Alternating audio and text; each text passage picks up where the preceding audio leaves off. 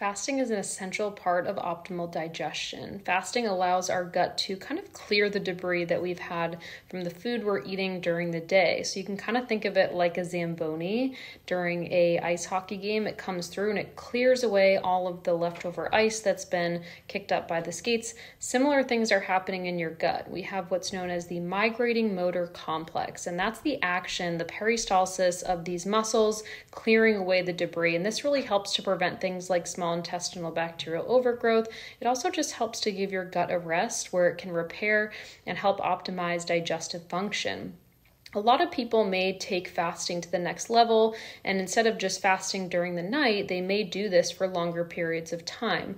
My concerns as a registered dietitian, from what I've seen in my practice, is that this can be really detrimental if stress, physical, and emotional stress are a big part of your digestive issues. So, fasting might not be appropriate for everybody.